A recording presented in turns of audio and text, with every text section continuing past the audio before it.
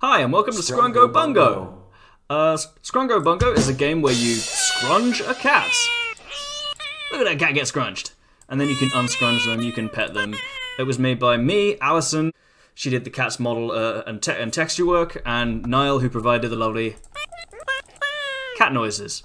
For sake of code, this was primarily a mesh deformation exercise. Uh, originally, the mesh kind of went uh, a little nuts because you can edit individual vertices.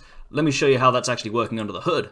So here each vert is represented by a little square, and you'll notice if I click, it shows me a sort of control group uh, based on where I've clicked on a radius. It starts white and then radiates out to black to show how strong that control group is. The problem is I can click anywhere and uh, affect verts individually, which means they very quickly get messy.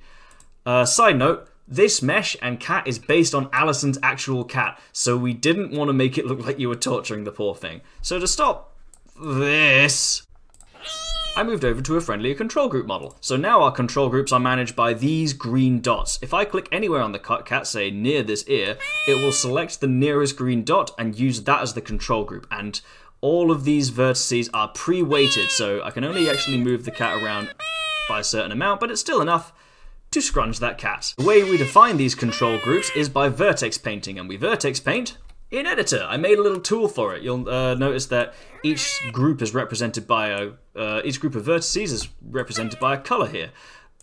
The tool is fairly rudimentary. It doesn't bake to the mesh. It generates a bunch of serialized out numbers, as you can see here.